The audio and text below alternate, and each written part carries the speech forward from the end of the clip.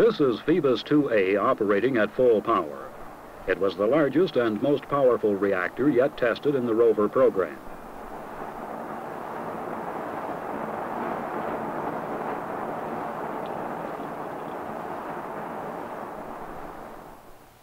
Phoebus 2A was designed to operate at a power level of 5,000 megawatts, nearly four times that of Phoebus 1B. The core was constructed in a manner similar to the previous reactors of the Phoebus 1 and Kiwi B4 type. In this design, six hexagonal fuel elements were arranged around a central unload support element to form clusters. These clusters, when stacked together, formed the core of the reactor. Because of its larger size, 2A required the use of a total of 4,000 fuel elements, 2,500 more than 1B. In all, a total of 77,132 metering sleeves were installed in the propellant passages of the elements. In order to ensure accuracy during assembly, the calculated metering sleeve sizes were printed out graphically to provide the operator with a visual plan of the sleeves for each cluster.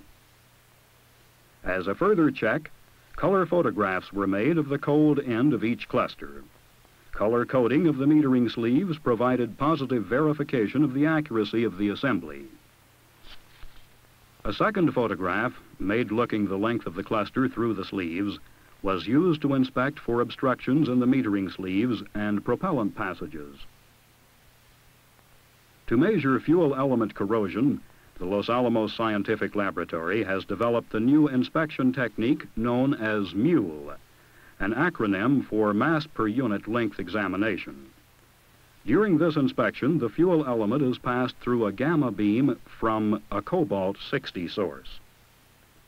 Measurements of the intensity of the beam transmitted by the element are taken every inch over its entire length and recorded for later comparison with similar measurements made during the post-mortem analysis.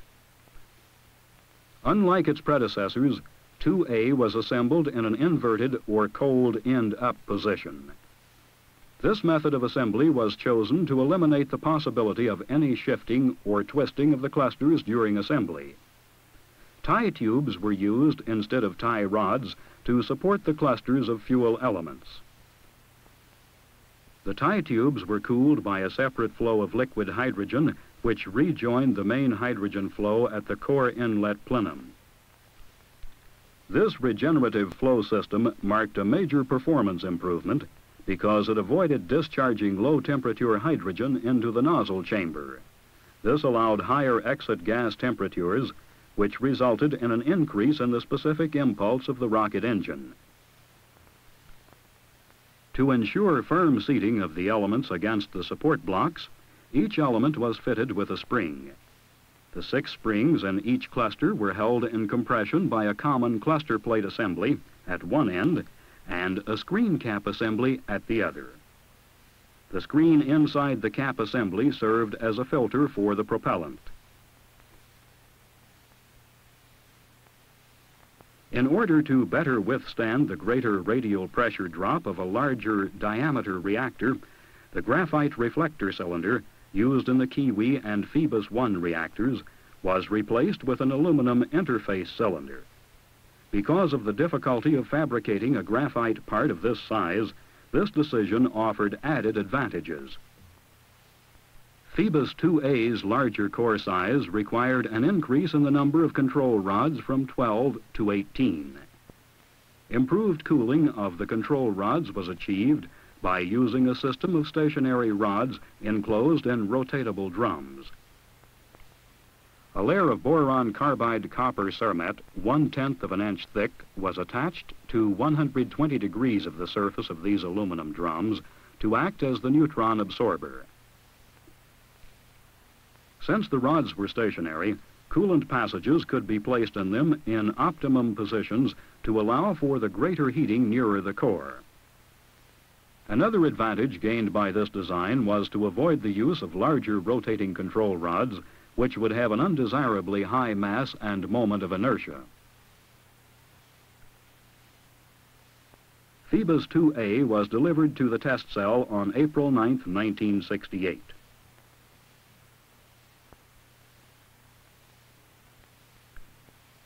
The nozzle, supplied by Aerojet General Corporation, was fabricated from the three largest forgings of Hastelloy ever produced. Hastelloy X is an alloy of nickel, chromium, and molybdenum. It was chosen because it can survive in a temperature range from minus 423 degrees Fahrenheit to 2,000 degrees Fahrenheit, the environment which the nozzle could expect to experience during the full power run. The liquid hydrogen, which entered at its exhaust end, cooled the nozzle as it flowed axially through its lining of tubular passages to the reactor. A new shield, half again as thick as that used for 1B, was provided for the more powerful 2A. Borated water, to act as a heat shield and neutron absorber, was pumped through the shield and privy roof at a rate of 5,400 gallons per hour to provide a complete change every 40 seconds. One million gallons of liquid hydrogen the amount estimated necessary for the 20-minute run was stored in two dewars which supplied the reactor and the turbine energy source. Some liquid hydrogen was diverted to a heat exchanger which produced the gaseous hydrogen to power the pump turbines. In order to provide the greater volume of liquid hydrogen necessary for the more powerful 2A design, two turbopumps were used for the first time. These were the Rocketdyne Mark 25 turbopumps, which delivered liquid hydrogen to the reactor at a rate of 540 gallons per second during the full power run. The liquid hydrogen supplied to the tie tubes during the run was controlled and monitored from the control point.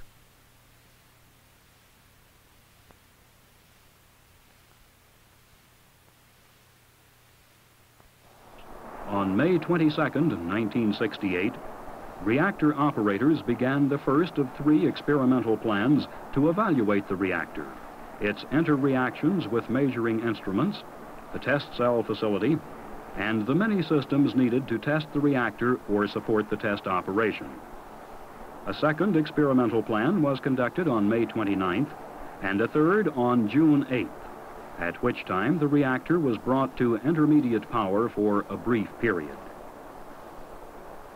On June 26th, Phoebus 2A was given its high power duration test. It was the largest nuclear rocket engine ever tested. A number of steady-state holds were performed on the programmed run profile to obtain neutronic reactivity data. When the hold at 4100 degrees Rankine, 4100 megawatts, and 260 pounds per second hydrogen flow rate was reached, the temperature of the pressure vessel main closure was at its red line limit, and a decision was made to go no higher in power. The reactor was operated for 12 minutes at these conditions, at which time a programmed shutdown was initiated because the planned amount of turbine energy source hot water had been expended. Three weeks later, on July 18th, the reactor was tested again at a power level below 4,000 megawatts. The objectives were to perform controlled experiments not completed in other experimental plans, to expand the reactivity mapping done on EP4, and to perform an emergency shutdown from an elevated power level. At the 160 pound per second hold, an unplanned emergency shutdown occurred and the emergency shutdown system operated normally. After a routine cooling period, during which liquid nitrogen was used briefly as a coolant, the reactor was restarted. The second run was successful. Finally, at a temperature of 2700 degrees Rankine and a flow rate of 195 pounds per second, the planned emergency shutdown was executed. The initial phase of the shutdown went smoothly, but after a few seconds, the flow to the reactor dropped to a very low value and overheating of the tie tubes occurred. After gas flow was established, the cool down progressed normally. The reason for the loss of flow was later determined to be plugging of the propellant pipe filters. Frozen nitrogen slush had collected in a dead leg of the pipe during the cool down following the first emergency shutdown. On July 24th, the reactor was disconnected from the test cell and moved to the RMAD building for disassembly, which began the next day. When the nozzle and pressure vessel were removed, a view of the end of the core revealed a large percentage of the tie tube assemblies had parted at the support braze joint.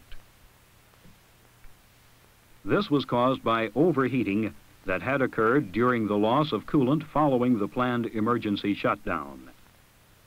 This damage did not affect the rest of the core, and the disassembly and post-mortem operations were completed smoothly. All of the major mechanical components, such as the nozzle shown here, were in good condition. The fuel element weight loss and mid-band corrosion were somewhat greater on the average than had been anticipated. Good results, however, were obtained with the experimental elements, which used a new coating technology. These elements were made following production of the bulk of the core.